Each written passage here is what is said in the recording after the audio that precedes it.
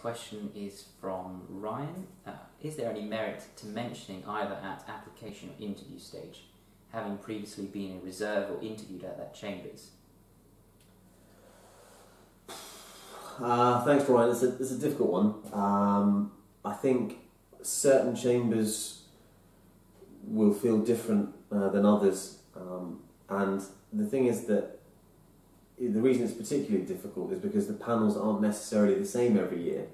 So you may want to get that point across, um, but one panel might think, well, that's just irrelevant. Um, even if it is the same one, they may think, well, that's not relevant because this is an objective process and we're going on, uh, you know, it's a meritocracy, we're going on the applicants that we've got and that's what we're comparing.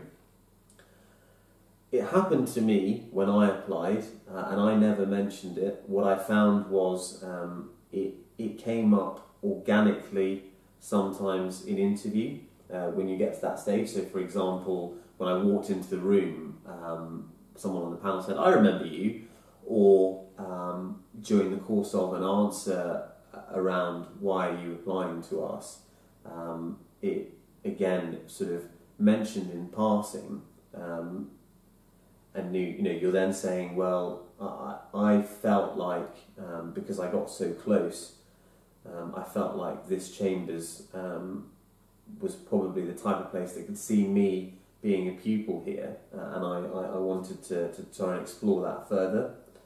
I think that's probably probably about the best that I can do with that, Ryan.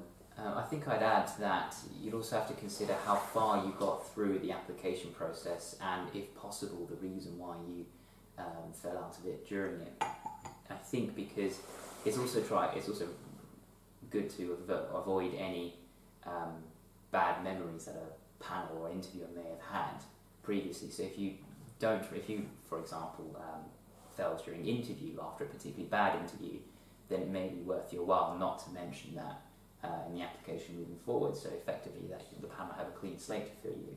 Yeah, yeah. So uh, it's something that you've got to kind of um, take a view on um, and and consider. And you're right, you can put it in the why our chambers question, but it, it still comes back to that same sort of instinctive thing about is this uh, is this the right way to go about it? The next question we have is from Tangina. Uh, what's the best way of answering why do you want to train as a barrister? Myself and other students have spoken and uh, spoken to tend to struggle with this question. Uh, well, thanks for the question, uh, Tangina. I hope I'm saying that right. Um, I have posted on this before, and I'm in danger when I answer this question of giving people the answer, which I don't want to do. So the first thing I'd say is have a scroll through some of my previous posts. Um, hopefully it will appear um, below this, this video anyway. Um, but I gave an example where I imagined that the job was for an astronaut rather than barrister. And it was also a key example of a question where you can, and to my mind, should definitely use bullet points. So the word limit there is, I think, 200 words don't see it as um, a minimum. Don't see 200 words as a target. Just hammer out half a dozen bullet points that explain why this job um, is, is the one that you want to train for. And some of those bullet points will just be bullet points. They don't require um, any expansion. So, for example, uh, intellectual stimulation, that's one bullet point you don't then need to go on and explain what intellectual stimulation is. I know that, I've read it, I get that's why, um, why you put it down, that's why you want to train to do that job. That, uh, that, that's as simple as it, as it gets, really. Um, I think there's too much um, emphasis on um, how to approach this question rather than just understanding that there are only so many ways you can approach this question and when you're reading these applications, you see the same answers over and over and over and over again. Very occasionally, there's an answer that's totally off the wall, completely different. That tends to come from people who are looking at it as a second career.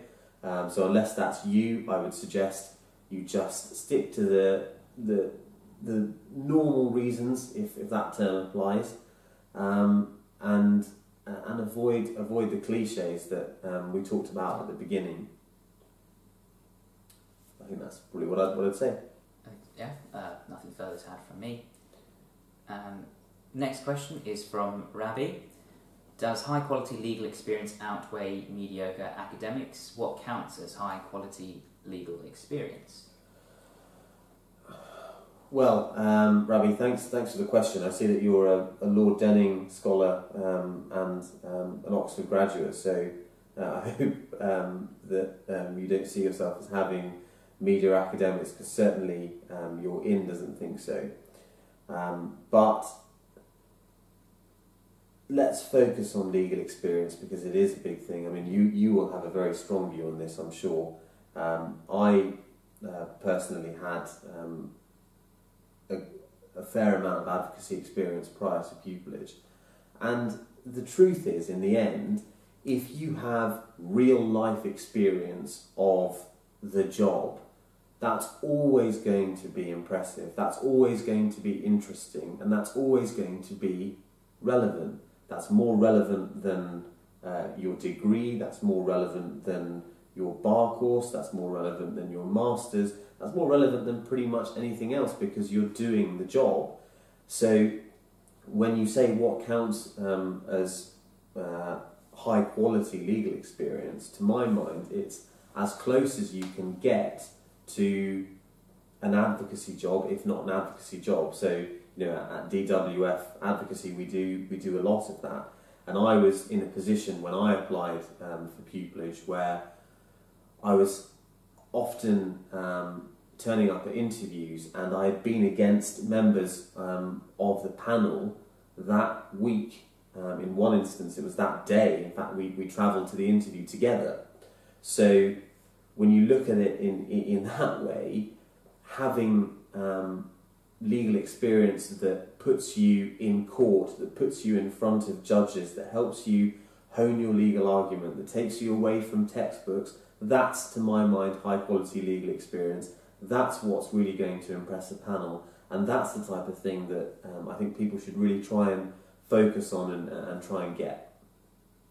I think what I would add is that um, if you think that your, your academic performance hasn't been where it ought to have been or could have been better, then you can use your your uh, experience to supplement that to show how since graduating that you've become uh, more alert or alive to the issues or more you know, or better able to understand and anal- otherwise analyze the law. So I think the two go hand in hand. Um, but I mean, inevitably, this is a competitive process where um, the vast majority of, of, applicants will have the benchmark academic credentials, and I think regardless of where the, where you apply to, um, your your starting block has to be well, do I have the academic background required to make a, a worthwhile application here. Yeah. Cool. Hope that helps.